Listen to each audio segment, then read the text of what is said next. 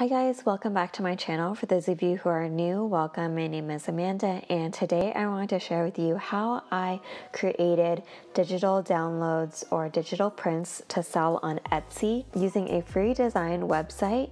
Before we get started, don't forget to hit the subscribe button. As you can see, this is my Etsy shop. It's called Hopes and Crafts Co. and I started it about two years ago when I first started creating these simple quote prints and I just wanted to show you how easy it is for you to make your own and sell them. Um, I won't go into the whole um, Etsy selling process, but I will go into the tutorial on how to design these using a website called Canva. So if you're interested, let's go ahead and get started. First, we'll go to Canva. Now, you don't have to pay for the pro version, although I did the free trial when I first started creating prints and it did make things a lot easier.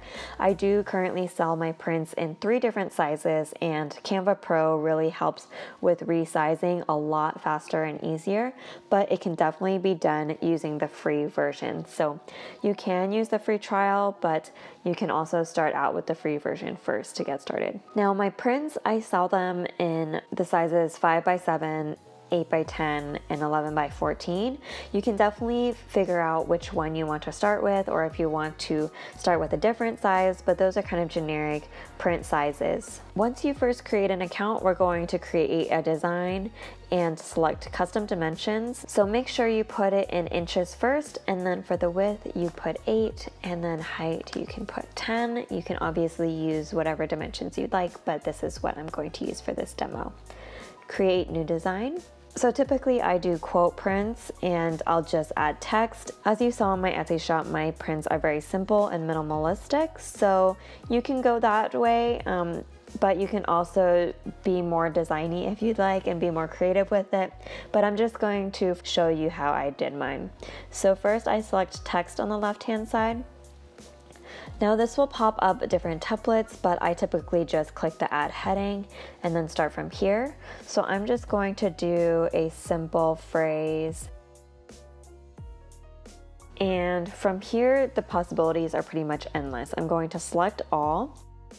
What's great about Canva, even though it's free, is that it has a ton of amazing fonts for free. So the pro version includes all the fonts with the crowns, but honestly, there are so many cool fonts without that. I'm just gonna click this one. This one looked kind of cool. It kind of has like a vintage vibe. And Canva is really easy to use. So you can play around with it however you like. These grid lines come up so that it makes sure that things are centered. I also love adjusting the spacing so that you can just make it look completely different with this spacing and then you can change the sizing. You can also expand the text using the corners as well.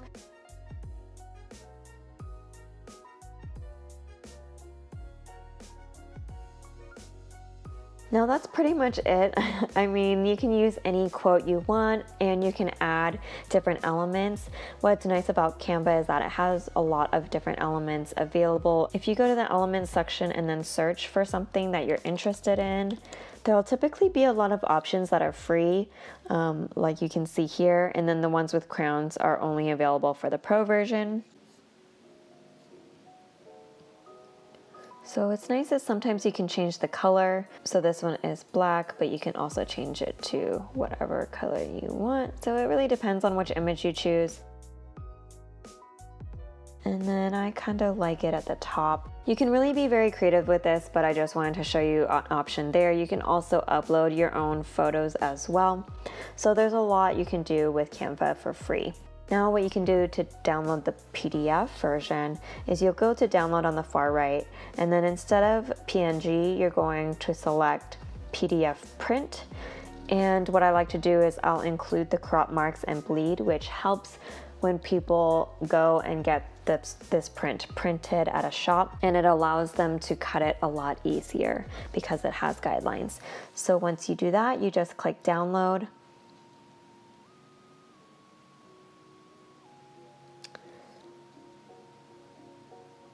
and gonna open that up.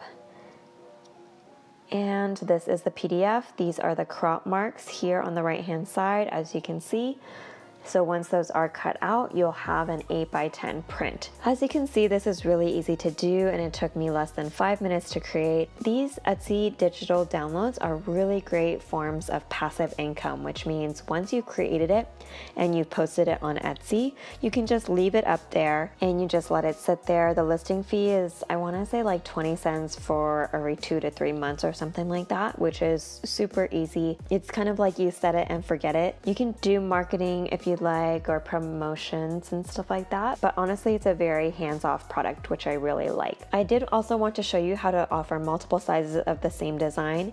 Now with Canva Pro, what you can do is you can resize. You can get this resized to any size. It could be another art print or it can be social media. But with the free version, what I'll do is I will open up another design. Say I want it to be a five by seven, create, and then I will go to my current design, select it all, and copy it, and then go to the new 5x7 design and paste it. And as you can see, it might be either too big or too small, but all you do is keep it both selected and you could group it if you'd like and then just resize it according to the size of the new design. So once I get it centered and resized, that's pretty much it. All I have to do is add a new file name at the top and then download the whole thing again. So download PDF print, include crop marks and bleed, and that's pretty much it. So now I have an 8x10 version, but I also have a 5x7 version. And you can include multiple sizes with one Etsy listing. So that is how you can offer multiple sizes to allow it to be more flexible for your buyers. I hope this tutorial helped you. If it did, don't forget to give this video a like and subscribe for more videos like this. Let me know if you have any questions in the comments down below. Wishing you the best of luck creating Etsy digital prints and I hope to see you in the next video. Thank you so much for watching. Bye!